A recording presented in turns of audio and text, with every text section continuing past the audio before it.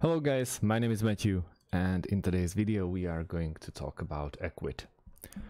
We are going to talk about pros and cons, I'll tell you more about Ecwid and then we'll check up the pricing so you exactly know how much money you have to prepare.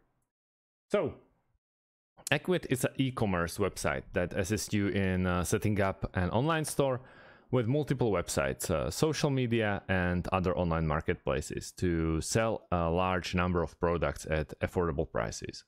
The brand gives customers the ability to control everything from a single dashboard to centralized inventory, order management, pricing, and more. The company connects sellers with many buyers around the world and helps them achieve their goals successfully. Ecwid is easy to use and works with uh, Google and Facebook to help customers promote their products and grow faster. They help companies to get more traffic for their events and attract higher sales.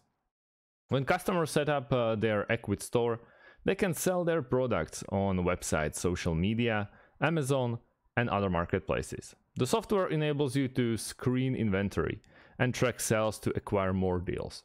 The platform offers uh, a sales stage to manage payments across 40 diverse payment choices. They're located in uh, Encinitas, California, so it's US based. It's made mainly for small and medium businesses and also freelancers. So I'm not really seeing uh, that is the best option for the biggest companies or enterprise level options. They are providing 24/7 support and also you can run them in your web browser and also in your mobile phone. If you have Android or iOS, you can sell from everywhere. Let's check the pricing. So let's uh, find out how much you have to prepare. You have to accept the cookies. You can go monthly or annually, obviously. With annual plan, when you are ready to commit, you can save 70% as they proclaim. Then they have free plan, which is easy online store to launch your business for free. Then venture, business, and then unlimited.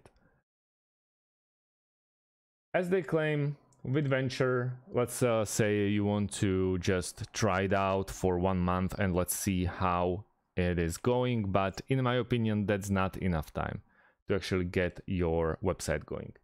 So uh, you will need at least like two or three times, but it's still under 50, 50 euros and it's very well worth it. You get store management, e-goods, uh, 25 uh, gigs, discount coupons. Really, really, really uh, nice options. With business, you have eBay uh, US integrations. Also nice, but if you are not in the US, that this one is not that that, that uh, like tempting to you. So I would definitely go at least with Venture. That's about it, guys. Thanks for watching and see you in the next one. Have a great day and goodbye.